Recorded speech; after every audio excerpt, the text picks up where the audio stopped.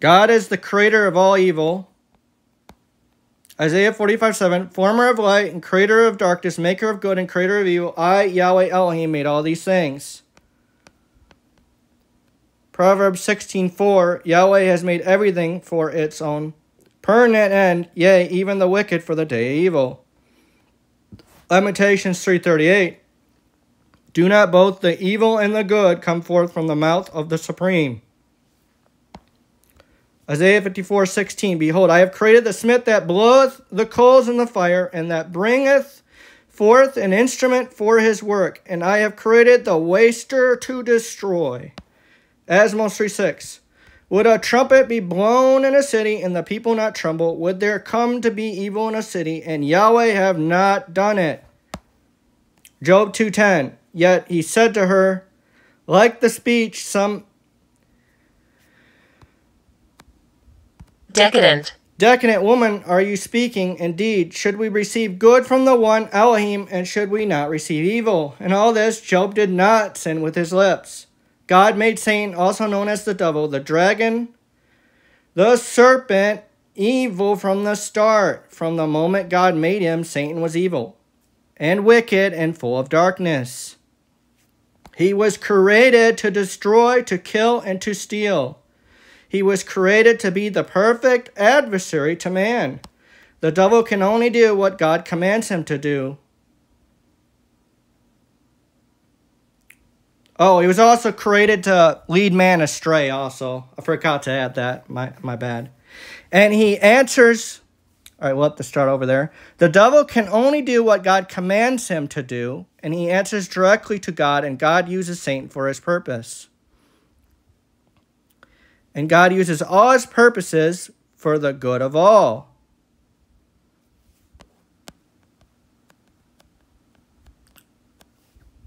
Satan was ma- made to provide contrast to God's light, love, mercy, and grace, and all that he is. No one can know good without evil. No one can know light without darkness. That is why God created Satan to provide contrast for good by displaying evil and all that is bad. Satan is the opposite of God in nature and character, not in power. God is all powerful and he commands Satan, and Satan can't do anything of his own accord. He is subjected to God Almighty and the will of God Almighty. He is not some free agent like Christianity teaches and able to do whatever he pleases. He can only do what God tells him he can do, nothing more or less. He's he is very limited in power, and the power he has given comes direct comes directly from God Himself. God will eventually save Satan and all evil celestial beings and every member of his creations, including all of mankind. After all, God is building himself a family from every creature and every being he has made. He is merciful, full of love and grace, and is just in all that he does. Father God Almighty will save Satan after he has accomplished his mission and fulfilled his role as the adversary.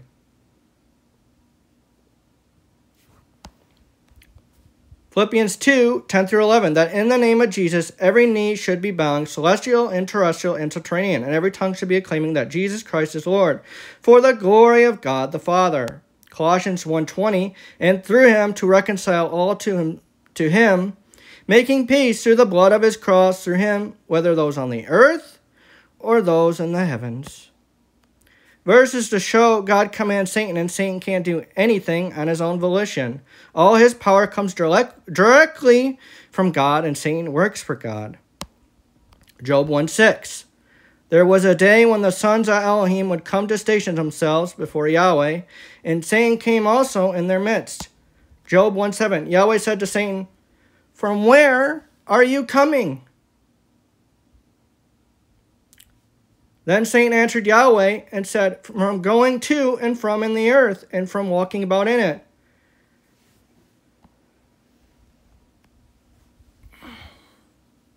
Job 1 8. So Yahweh said to Satan, Have you set your heart on my servant Job? From there is no one like him on the earth, a man flawless and upright, fearing Elohim and withdrawing from evil. Job 1 9. Then Satan answered Yahweh and said, Does Job fear Elohim gratuitously? Job 112. Hence Yahweh said to Satan, Behold, all that he has is in your hand, but you must not put forth your hand upon himself. Then Satan went forth from Yahweh's presence. Job 2, 1 through 7. The day came around again when the sons of Elohim came to station themselves before Yahweh, and Satan came also in their midst to station them to station himself before Yahweh. Yahweh said to Satan, From where are you coming? Then Satan answered Yahweh and said, From going to and from in the earth, and from walking about in it. So Yahweh said to Satan, Have you set your heart against my servant Job? For there is none like him on the earth, a man flawless and upright, fearing Elohim and withdrawing from evil. And he is still is holding fast to his integrity, though you would incite me against him to swallow him up gratuitously. Then Satan answered Yahweh and said, Skin in behalf of skin, for all that a man has would he give in behalf of his soul. Howbeit, Howbeit, now put forth your hand and touch his bone and his flesh, and he shall assuredly, assuredly, assuredly, assure, assuredly scorn you to your face. Hence Yahweh said to Satan, Behold him in your hand, yea, but keep his soul alive.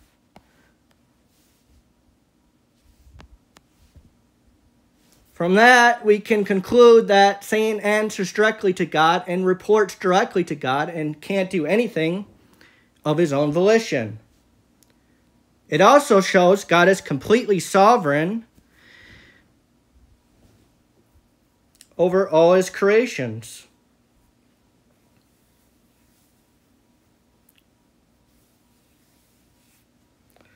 Job 26, 13. By his spirit he hath garnished the heavens, his hand has formed the crooked serpent. Job 26, 13. By his spirit the heavens were made, seemingly his hand travailed with the fugitive, fugitive serpent.